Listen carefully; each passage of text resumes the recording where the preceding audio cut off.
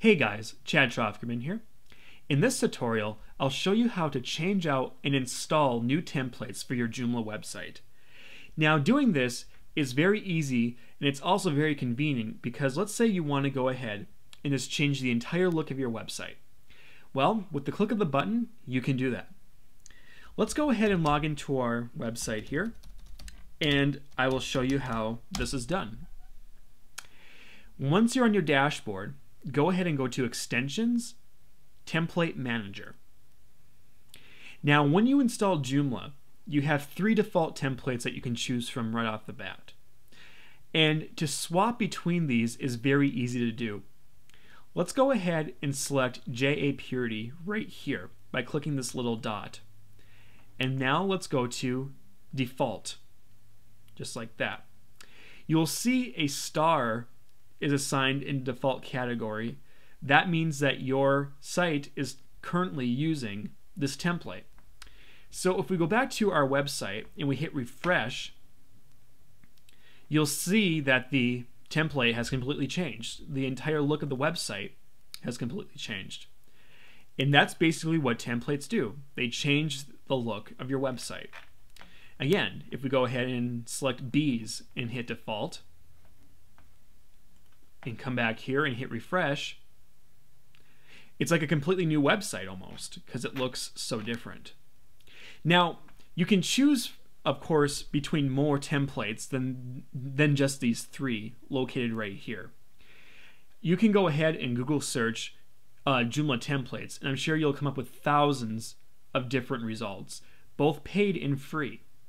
So let's go ahead and try that out, and I'll show you how to install a template and then assign that template. Okay, let's go ahead and create a new tab or window on our browser, and let's go to Google. Now, let's go ahead and type in Joomla templates and hit enter. We obviously have a big list here to choose from. Now, there are free and paid templates out there.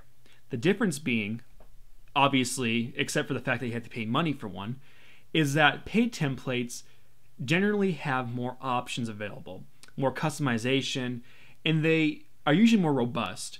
Now, I recommend that you try a free template out first or a variety of free templates before deciding on a paid template. Although I do recommend paid templates because they are very good most of the time. But go ahead and try some free ones out first so you can get a feel of all this. Anyway, I'm going to go ahead and click this link right here, joomla24.com. And you can go through here and they have a bunch of different templates you can choose from. And again, this is just one site out of many. But some of these are paid and some of these are free, but most of these are free. I'm going to go ahead and download this one right here. And one more thing I'll point out. You'll see that it says Joomla 1.5 templates. Joomla 1.5 is the latest version of Joomla. The old version is 1.0. Now, I recommend that you use Joomla 1.5, and mainly because Joomla 1.0 is being phased out, it seems. so, go ahead and make sure you have the right version before you download your template. If you are using Joomla 1.0, there are 1.0 templates out there. So go ahead and just click download, and then we'll just go ahead and click download again, and we'll save the file. Okay, now let's head back to our dashboard. And now we're going to go to Extensions, Install, Uninstall. And now we're brought to this page right here. The first line, we have a Browse button, so let's go ahead and click that.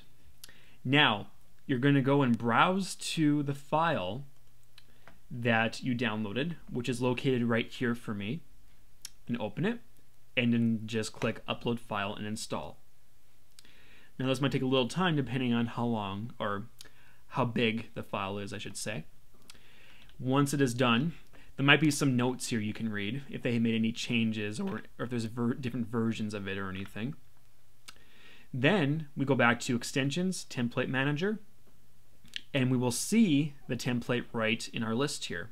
So you can go ahead and click that and then go to Default and then go back to our website and refresh to see the change. And there you go.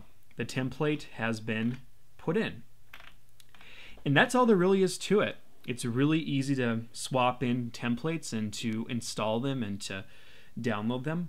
And again, I recommend that you go through and check out as many templates as you can because they're all different and especially the paid ones, they do offer a lot of options. Okay, well, next time I'll cover some more Joomla stuff. I'll see you guys next time.